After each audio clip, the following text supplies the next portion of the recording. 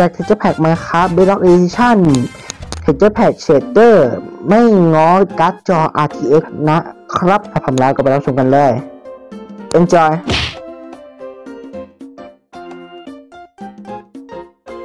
ก็สิ่งที่เห็นได้ชัดนะครับก็คือ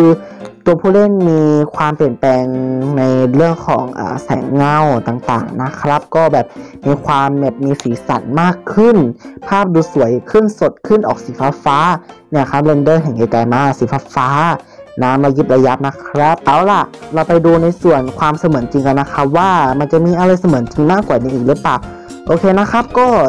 RTX นะครับก็ใน Java Edition ก็จะมีหลาย ๆ อย่างนอกอย่าง พวกบล็อกที่มันสะท้อนเงาสะท้อนแสงนะครับ นี่เห็นไหมมันดูแบบมีความแบบสะท้อนเงาอะครับ แบบมีเงาอะ ดูดิทอง อันนี้ก็ iron นะครับ ดูดิแบบมีความแบบเป็นเงาอะ มันมีแบบเป็นเงาอะ ดูดิเห็นไหมครับ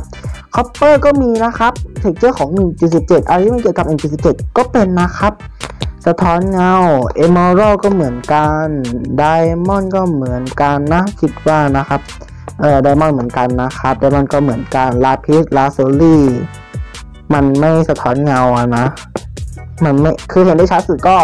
มี 5บล็อกนะครับ ก็จะมีอ่า gold iron copper emerald diamond นะครับ ก็ประมาณนี้แหละนะ ความเสมือนจริง มีความสะท้อนเงาสะท้อนวาวด้วยนะครับ แล้วก็ สิ่งที่มันสะท้อนเงาสะท้อนวาวอีกอย่างหนึ่งนะครับ ก็คือ obsidian นั่นเอง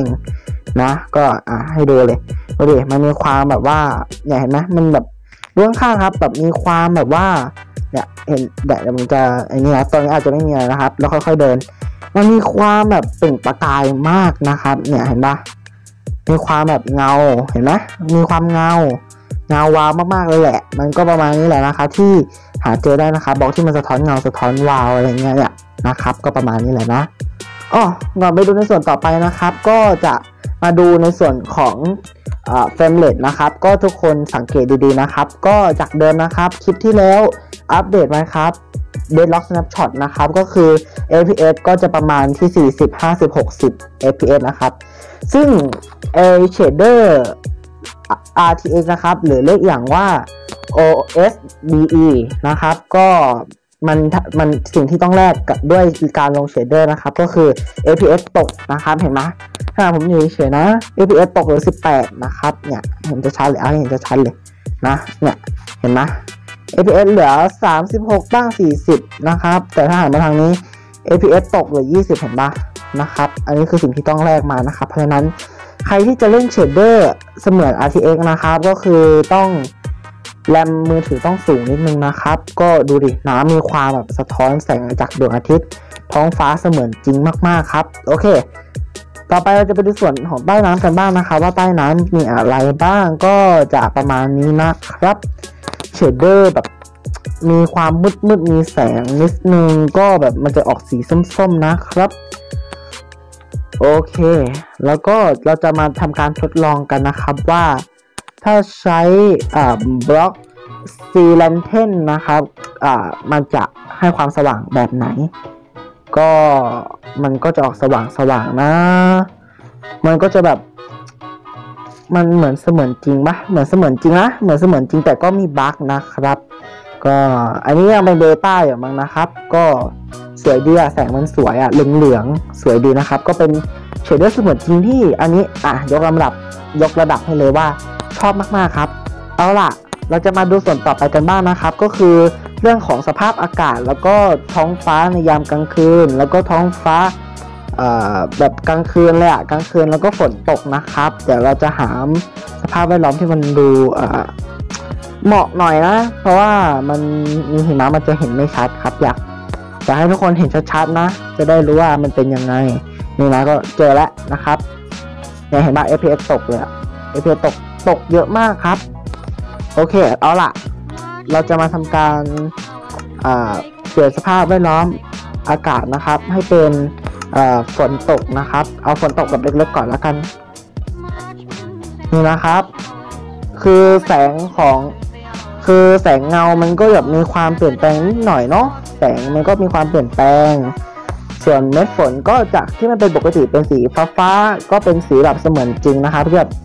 สีขาวๆและพื้นก็จะมีความแบบเปียกชื้นเนี่ยเห็นนะเหมือนมีแบบเป็นแอ่งน้ำขังนะครับเหมือนแอ่งน้ำขังเลยนะ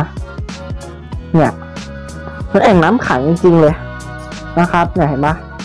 มันแอ่งน้ำขัง แล้วตรงนี้ก็จะเป็นหิมะตก นะครับดูดิมันมีความเสมือนจริงมากๆอะเอาล่ะ เราจะมาลองเพิ่มระดับกันนะครับ เป็นฝนตกแล้วมีฟ้าผ่าด้วย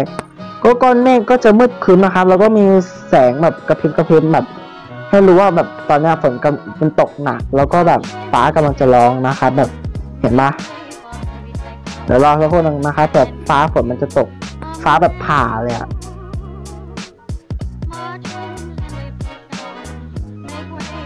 เหมือนท้องฟ้าจะมันจะเป็นแค่ท้องฟ้ามั้งครับไม่ได้ไม่มีฟ้าผ่าเลยอะแต่น่าจะแค่ตกหนักอะนะครับ ท้องฟ้าก็มืดครึ้มหนักกว่าเดิมอีกอะเอาล่ะ เราจะมาดูในส่วนของ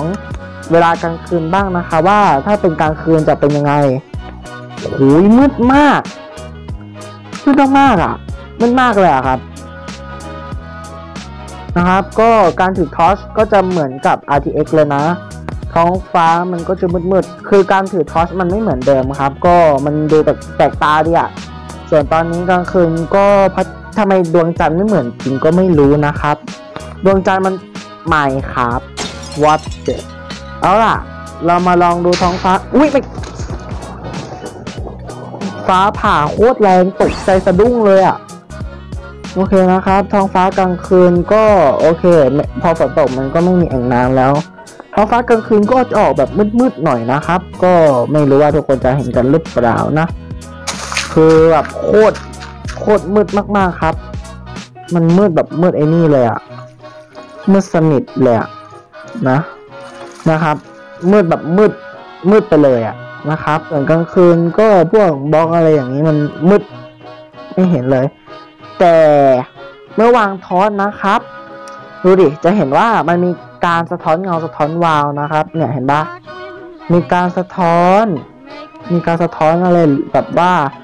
โคตรเจ๋ง อันนี้ให้สิบเต็มสิบเลยนะนะครับ คือมันสวยมากอะมันสมกับมันเหมือน RTX แบบเป๊ะๆเลยอะเหมือน RTX มากๆครับ คือชอบเลยอะอันเนี้ยคือแบบสวยมากๆอะเนี่ยครับ แล้วรู้สึกว่าถ้าเกิดไปเนเธอร์มันจะอ่า มันจะมีความแบบสวยไหมอะ อันนี้รู้สึกว่าเขามีคนมีคนทำคลิปนะครับ ก็คืออ่าอันนี้ขอเรียกว่าพี่เรียกว่าเชิงคนรู้จักก็ได้มั้งนะ รู้จักอยู่แล้วอะ่ะ Time TV Master นะคะทุกคนก็น่าจะรู้จักเนาะทุกคนก็น่าจะรู้จักนะครับ ก็คือเขาทำรีเชเดอร์ไปแล้ว ผมก็มาทำบ้างนะครับ ก็เห็นในเนเธอร์สวยจริง ๆ เดี๋ยวไปดูกันนะคะว่าจะเป็นยังไง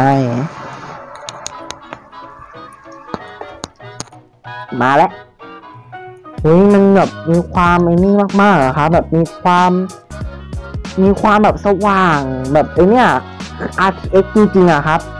ส่วนเจ้าไอ้ที่มันผลจากไอ้น่าน่าจะไม่มีในนี้ปะเออมีมีมีสวยอะดูดิไอ้ตรงนี้คือแบบมันมีมันมีการสะท้อนแสงด้วยอะครับดูมีการสะท้อนแสงด้วย Nether Update ของ Nether Update ก็มี glowstone ก็ประมาณเนี้ยครับ อย่างสวย RTX จ๋าเลยอะดูดิคือแบบเหมือน RTX มาก ๆ ครับ และนี่ก็คือลาวาใช่ไหมลาวามันมันยังมีบล็อกบล็อกแบบเป็นบล็อกบล็อกอยู่อย่างเงี้ยเห็นปะนะครับมันเหมือนแบบมันแยกเป็นบล็อกเนี่ยบล็อกบล็อกนะครับมันเหมือนเป็นบล็อกแยกบล็อกอยู่เลยอะแต่แสงอะเหมือน RTX มากๆโอ้โหย แสงอย่างสวย แล้วดูบล็อกที่มันสะท้อนกับแสงลาวาเลยครับ โอ้ยอย่างสวยอะเอาจริงๆครับสวยมากๆ โอ้ my god แล้วมันมีอะไรอีกไหมอะ พวกพวกม็อบมีอะไรปะม็อบไม่มีอะไรแต่ทำไมรู้สึก มันเป็นพิกแมนจังอะมันเหมือนพิกแมนไปเลยอะเหมือนมันไม่เหมือน ส่วนเจ้าสไตเดอร์ก็ไม่มีผลอะไรเนาะพิกลินนะพิกลินก็เหมือนจะไม่มีอะไรนะครับ แต่แสงสวยดีอะใครว่าสวยก็คอมเมนต์มานะครับ โอเค ก็ประมาณนี้แล้วนะครับบอลาวาอะไรมันก็มีความสวย มีความโดดเด่นเหมือน RTX แต่ว่ามันก็ยังไม่ได้เหมือนขนาดเต็มร้อยเปอร์เซ็นต์นะครับคือเพิ่งเห็นว่ามันเป็นอย่างนี้ด้วยนะไอ้เนี่ยครับเขาเรียกอะไรนะในนี้ ในที่อัปเดตจำชื่อไม่ได้ครับ อันนี้ก็สวยดีอะนะครับ อืม สวยมากเลยอะเอาล่ะสำหรับเชดเดอร์ RTX หรือ OSBE นะครับ ก็ขอจบไว้เพียงเท่านี้นะครับ ก็เป็น shader ที่เสมือน RTX มาก ๆ ไม่ต้องพึ่งการ์ดจอ RTX นะครับ ก็สามารถเล่นในมือถือได้นะครับ ก็โอเค ถ้าใครชอบใจอย่าลืมกดไลค์กด subscribe กดแชร์กดกระดิ่งด้วยนะครับมีอะไรก็คอมเมนต์มาได้นะครับ ก็เดี๋ยวลิงก์โหลดจะทิ้งไว้ใต้ล่างคลิปนะครับ ก็สำหรับวันนี้ก็ขอตัวลาไปก่อนนะครับ ถ้าเกิดมีอะไรผิดพลาดก็ขออภัยด้วยนะครับสำหรับวันนี้ขอตัวลาไปก่อนนะครับสำหรับวันนี้สวัสดีครับ